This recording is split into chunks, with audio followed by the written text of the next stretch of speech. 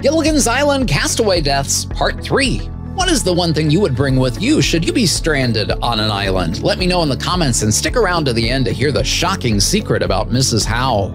Jim Backus was born February 25, 1913, in Cleveland, Ohio. Jim began acting on radio shows in the 40s. Backus had a Hollywood career spanning over five decades, often portraying wealthy New England like characters, much like Thurston Howell III. Backus was the voice of the cartoon character Mr. Magoo and played James Dean's father in Rebel Without a Cause. Jim also appeared in the film It's a Mad, Mad, Mad, Mad World. He appeared in the Beverly Hillbillies, The Brady Bunch, and The Love Boat.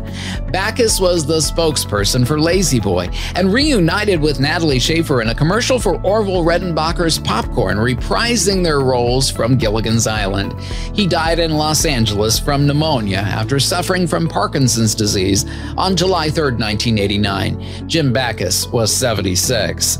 Mrs. Howell, Lovey, was played by Natalie Schafer, who began her acting career in 17 Broadway plays before moving to Los Angeles in 1941.